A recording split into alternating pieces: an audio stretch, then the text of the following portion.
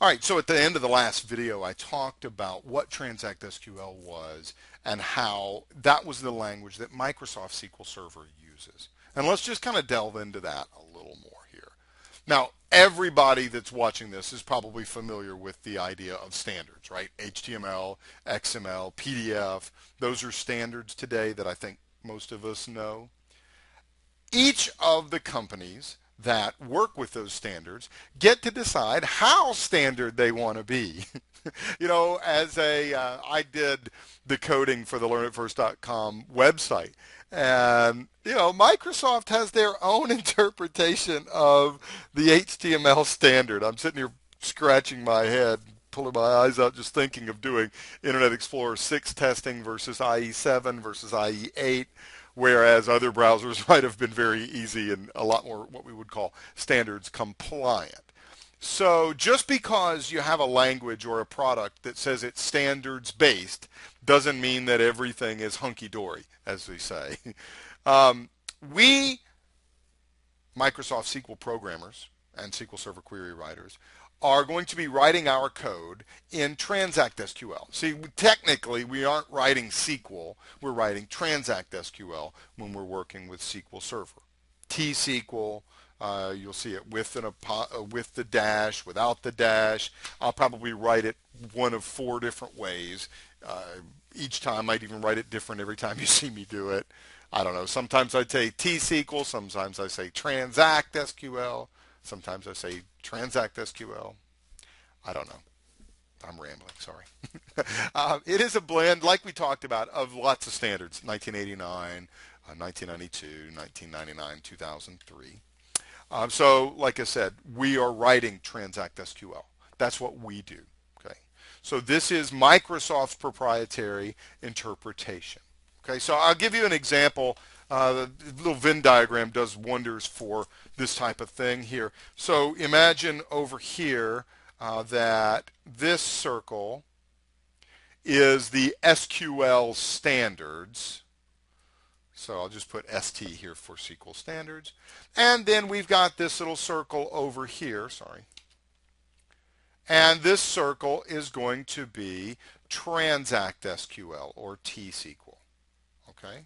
And you can see that we have a lot of overlap. And right here where we have this overlap, this is where Transact SQL implements the standard exactly as the standard says to do it. Okay, over on this side, we have this things that the standard says should be done, but Microsoft doesn't do. Now, to be fair, some of these are optional. Not everything is a required piece. Okay, so don't you know, start thinking, oh, that's terrible, Microsoft. Okay, they're not all, you don't have to implement them to be a quality relational database. Now on this side, on the other flip side over here, these are what we would call extensions. Okay, so these are proprietary bits of code. The, if you write your code so that it's a blend of these two right here, your code isn't guaranteed to work on another platform, for example, because you aren't doing standardized code you're now doing proprietary code. And it'll work on other SQL servers maybe, but it won't necessarily work on Oracle, on Access, or some other system that also uses a SQL standard, for example.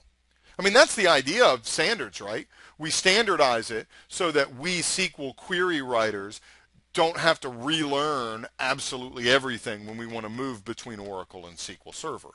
They're close enough to where you can actually do it without too much fuss. So just make sure you understand the idea of proprietary extensions. And to some people, that's very dangerous. I would never write my code so that it was proprietary. Okay. I can think of reasons to do so and reasons not to do so.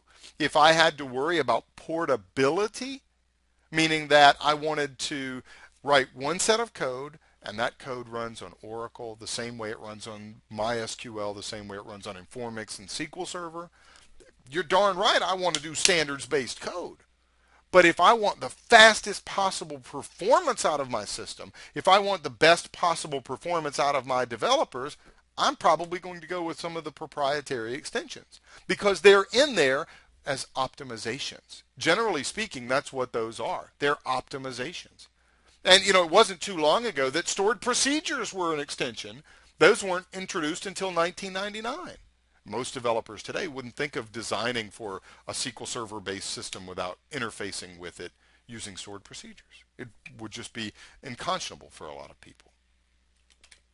So I want to also make sure you know that SQL Server is not the only company that does this. Microsoft, rather, is not the only company that does this. Oracle does it. Oh, they all do it. Like I'll give you an example here. Um, so where'd my little dot go? Sorry. So here, you know, here's the SQL standard again.